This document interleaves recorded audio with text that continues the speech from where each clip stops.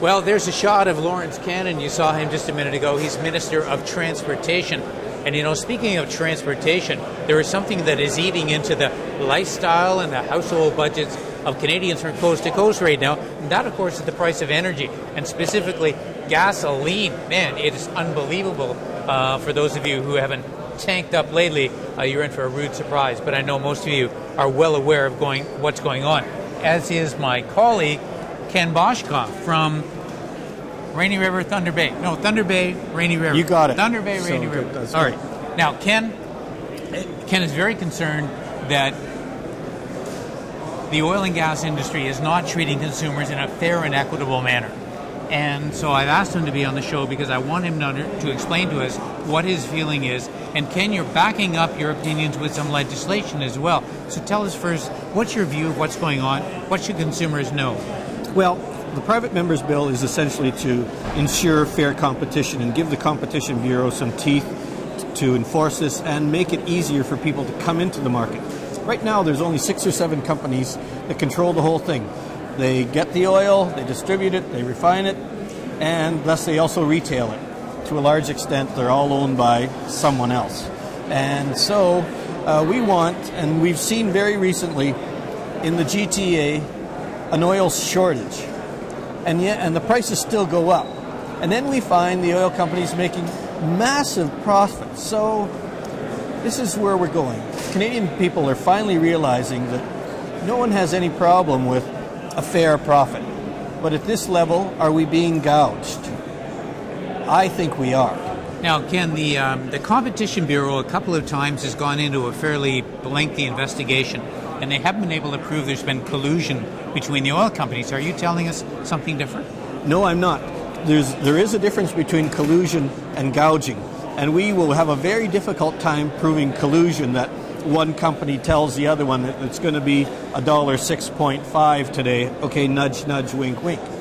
What we can prove is that the gap uh, between the cost of the price of oil, its refinery, and its transportation and distribution has fixed limits, even with the, the tra- uh, taxes added on. So we know that what they decide to charge is what the public will pay.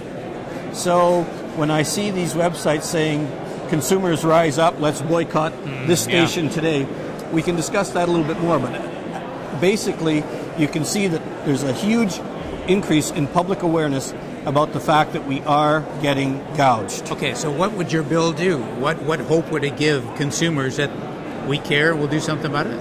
It would in, allow the expansion of new players into the market, which will hopefully allow for more for more competition. At this stage, in almost any neighborhood, in any city, in any municipality throughout Canada, you see less opportunities to buy gas. So it means that the control has also shifted from those who might have been a franchisee or an independent owner. There are fewer and fewer of those, and they're almost all corporate stores now. So when people want to protest by saying, let's not uh, buy gas from this company, they may actually be hurting an independent operator who's trying to make uh, a, a decent living. Now, finally, the um, the conservatives. I used to be one of those. You know, I admit it. Didn't we all? I'm a recovering conservative. As I was too. Oh, well. Anyway, back in election or two ago, the conservatives said, you know what, if gasoline goes above 85 cents a liter, we're going to eliminate part of the gasoline tax. Well, now we're like a buck 10 a liter, and we haven't heard a peep out of the government. Uh, Do you feel, do you hear from your constituents people saying, hey, we thought there was some plan here? That is only half of it. So very clearly in back, black and white, and many times over the campaign circuit, and certainly the people who ran against me campaigned on the 85 cent limit, and they also campaigned on eliminating the three cent excise tax. Oh, yeah. And uh, very early, uh, the prime minister stated that during the campaign that that would be gone in the first few days. Obviously, it is not. It is still here. So those are two very much broken promises, very deceptive, and a total. There's a, just a totally vacating of that whole thing. They, they, they threw it in my face many times uh, that this was going to happen, and uh, to, to a large extent, hey, I agree with that. Those would have been good things to do. lastly, if I run a gas station or a gas company, should I be afraid if the Liberals come to power? Are they going to get in there and mess around with the free market economy? Well, we're not going to mess around with the free market economy, but I believe that the oil companies really have not only a moral obligation, but a corporate obligation. Uh, no one objects to anybody making money or paying a return on investment, and there is capital investment and capital risk. But when you see the billions being made every quarter, and people who need vehicles to get to work, especially in rural Canada, remember, we are really subjected to, to the problems of distance and less service stations.